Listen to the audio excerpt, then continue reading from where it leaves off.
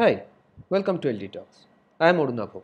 Today we are going to talk about Manchester and differential Manchester encoding schemes. So this is the talk outline. We will uh, start with the basics of biphase encoding techniques. Then we will talk about Manchester and differential Manchester encoding schemes. So uh, these are the variants and we are going to cover this two in this lecture. So what the, uh, the features of the biphase encoding schemes. I mean, as we have seen in the last few lectures, there is some uh, synchronization problem remains in the encoding scheme. I mean, biphase encoding uh, reduce the synchronization problem. We will see in uh, next couple of slides. The transition state uh, always happen to be in the middle of the uh, bit period and it never returns to zero. It's uh, remain either in the negative voltage side or the positive voltage side because here we are taking uh, two polar voltages as we have talked about in the polar encoding lecture. There are two variants. Uh, one is uh, Manchester encoding and another is differential Manchester encoding. So in the Manchester encoding scheme, I mean, uh, whenever we have some input data stream, always we will represent it as a transition. For say we we represent the uh, 0 as a low to high and 1 as high to low uh, or the vice versa. Here we can see in this diagram that this is 1 which is uh, represented as a transition from positive to negative level voltage and 0 as a uh, positive to sorry here the sign will be different so it should be negative to positive voltage or so on. And uh, yes and uh, uh, by using this Manchester encoding scheme we have reduced the DC component problem which uh, results uh, synchronization issue also. So as uh, here we are representing every bit as a transition.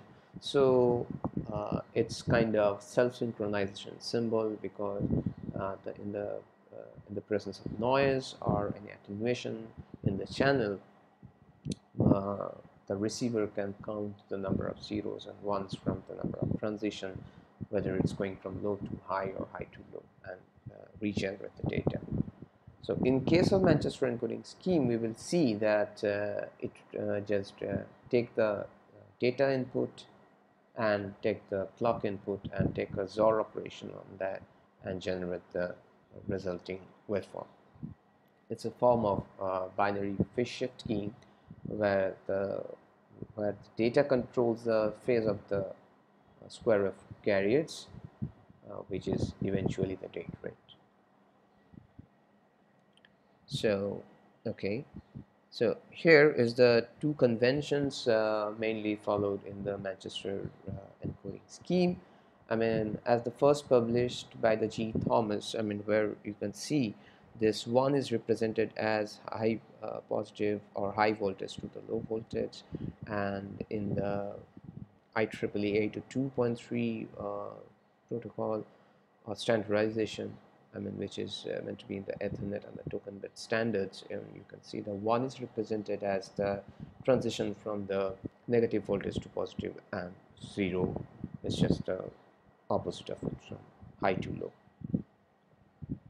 So here what uh, we have uh, talked about about the data and clock uh, we have seen in the uh, last slides and here here is the data. I mean, if the data is zero and the clock is zero, then we take the XOR operation and just following the truth table of the XOR operation, the resulting waveform is going to shape. So there are some conventions when we take uh, this thing. Practically, uh, this thing is followed by the 2.3. So here we take the each beat has a period which is defined and it's not varying, it's fixed. I mean, it's not like that uh, in a uh, in a single uh, data stream the zero uh, remains for the more time and one remains for the lesser time or vice versa it's not i mean whatever the time period of a zero or one every bit has a fixed time period and in IEEE 802.3 standards, uh, we take the 0 as high to low and 1 as uh, low to high. In the G. Thom Thomas convention, the reverse is, uh, is taken.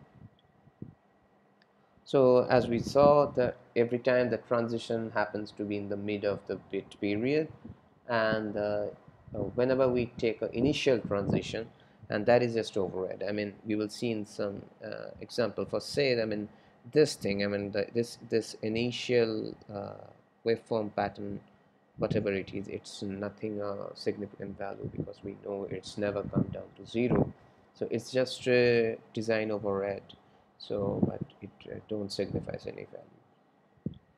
So before going into the applications uh, of the Manchester encoding we would like to see some examples. I mean how to take a input data stream and just encode it uh, in the Manchester uh, encoding scheme. So here first we will discuss about our convention for say this will be represented as 0 this is plus positive voltage level and this is say negative voltage level. And we will represent this as 1 which is going from negative voltage level to positive voltage level. So here is our example. So this is the 0 starting. So we will as per our convention will J oh sorry for this uh, extra uh, drag. Okay. The and as we know uh, this is 0 to from oh say sorry from the positive voltage to negative voltage level. Say this is positive and this is negative. And uh, we would like to see from as we have seen from uh, here that's uh, one is negative to positive so we can write as negative to positive and then uh, the zero against from positive to negative and we can again this is positive to negative and this one in the same prescription like this and this from here you can see that there is some uh, gap in the pattern. So here is a transition where is a transition? And this thing as a to high to low and simple as that. It's again high to low say it's again if there is a consecutive number of zeros we have to this thing. So it's now. So for the one it's this low to high. And again for the one it's going to low to high. So here we will connect the, the thing. So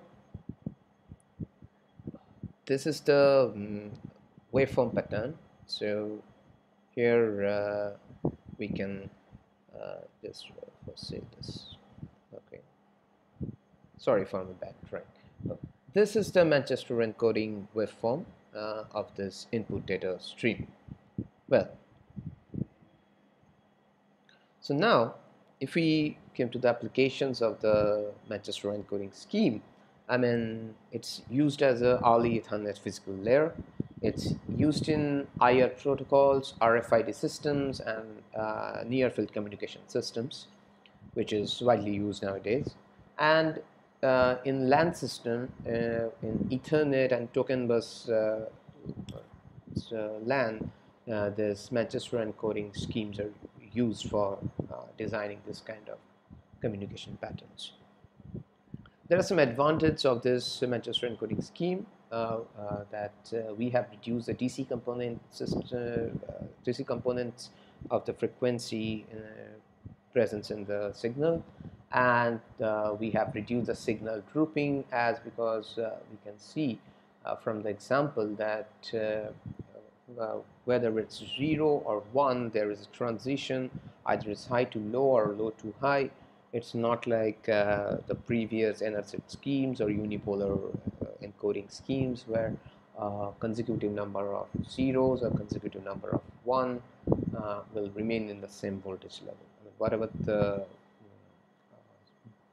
whatever the bit symbol I mean, there is a transition accordingly. So the, on the receiver end, I mean, uh, a receiver can just regenerate the data from by counting the number of transitions, which is uh, either it's going from positive voltage level to negative voltage level or the opposite of that.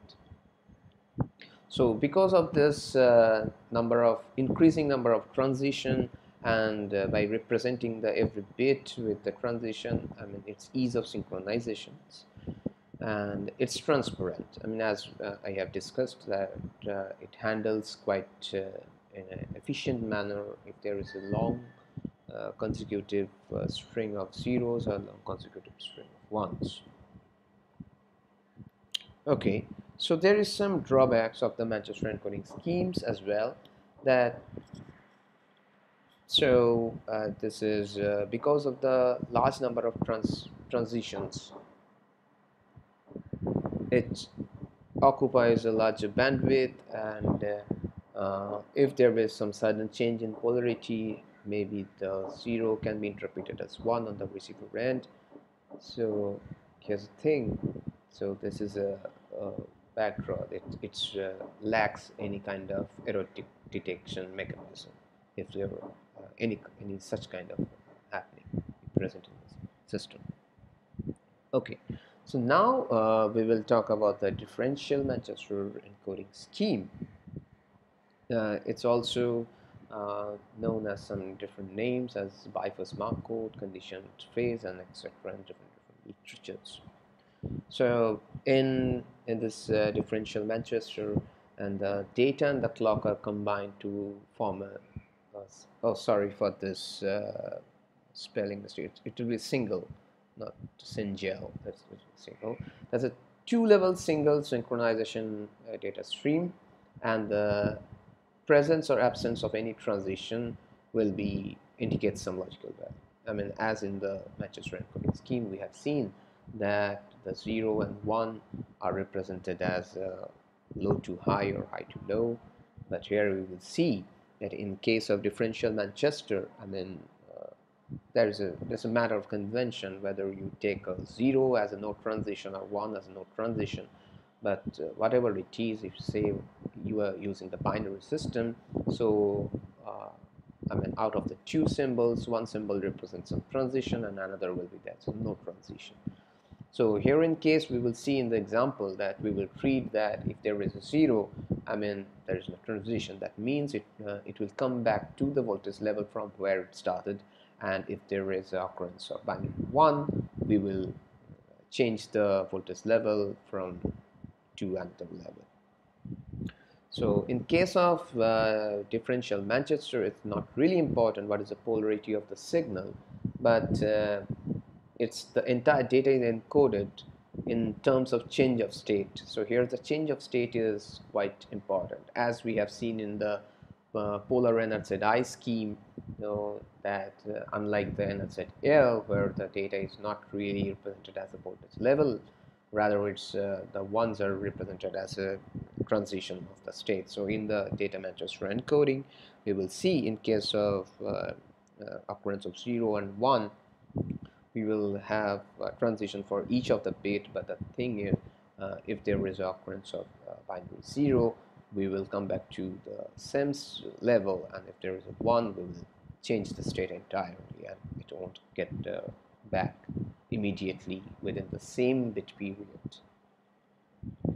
And uh, as in uh, the in the previous section we have seen in the Manchester encoding scheme here the and any transition happen to be in the middle of the bit period and which helps in the synchronization.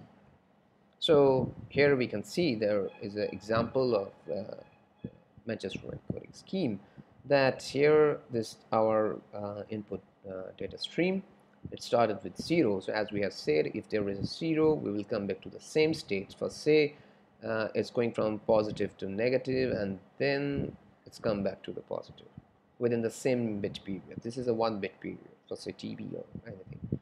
And if there is a net uh, next uh, uh, bit is 1, so there is a transition. It goes from positive to negative in the entire uh, bit period. So there is some uh, fundamental difference or characteristics difference between the representation of 0 and 1. You can see that uh, within the term this bit period, this waveform goes to the negative voltage level and again it's uh, just bounce back to the uh, positive voltage level.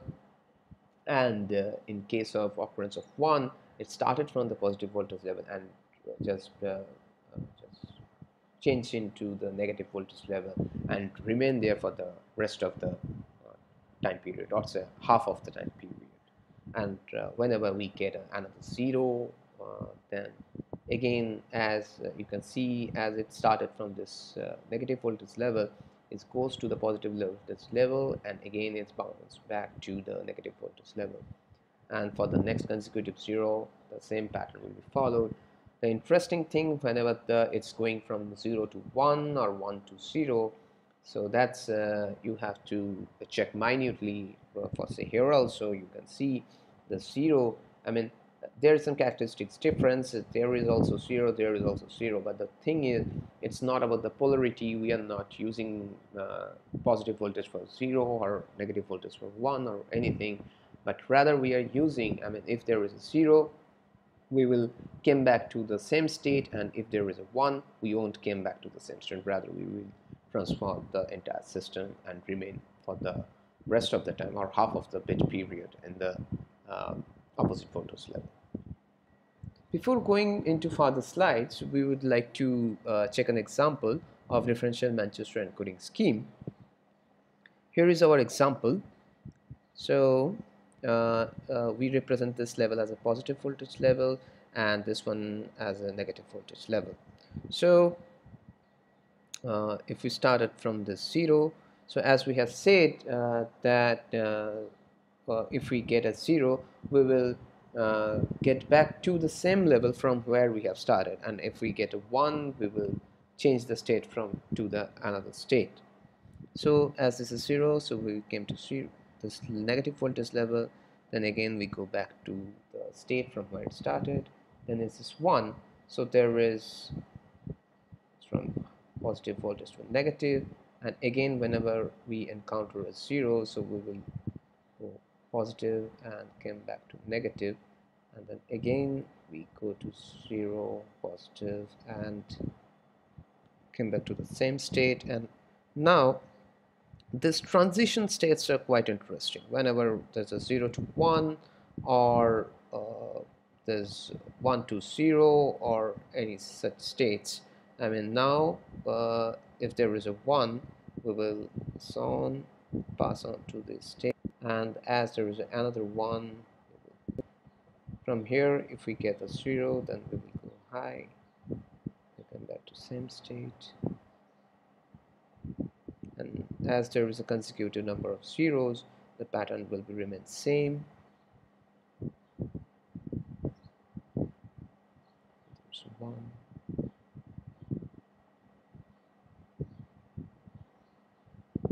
So uh, this is the example of differential Manchester encoding scheme.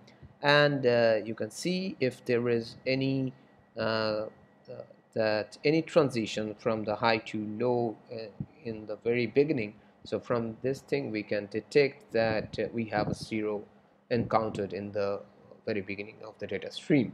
I mean it's makes the it, it's makes a regeneration of the data stream in the receiver receiver okay so this is the input data stream. Here we can see a comparative analysis of the Manchester encoding and differential Manchester encoding. Here you can see if there is uh, say here the one is represented as positive uh, to the negative and say it's going from positive to negative side and remains uh, in zero and the, the zero is represented as from the negative to positive because in the Manchester encoding scheme we have seen either we represent the 1 and 0 some fixed patterns but in case of differential Manchester it's not like that. We are just representing the system as a uh, as a transition among the states. So okay. So there are some advantages but uh, we have already uh, talked about that in case of every bridge there is a transition is guaranteed. I mean in case of noisy environment detecting the transition is less than erroneous rather than uh, comparing against a threshold uh, because we have seen in case of baseline wandering whenever we are taking average and whatever the input data stream we are measuring the input data stream with respect to that average level. I mean in presence of noise or attenuation I mean that the baseline uh, starting to drift and we are uh, getting the erroneous result. But here no matter whether the uh, noise is present in the system or not rather we are if there is no sudden change in polarity so we can measure the transition. And from the transition we uh, just uh, successfully uh, regenerate the data on the receiver end. So yeah the presence of transition important on the polarity and the magnitude of the high and low signal levels at the different polarity so that's it, it's effectively making the average zero. So theoretically we can say there is a uh, zero DC bias. So uh, here we have completed uh, the uh, biphase polar encoding schemes. Hope uh, you can understand the examples whatever uh, I have discussed so far. So hope you enjoyed the lecture. Thank you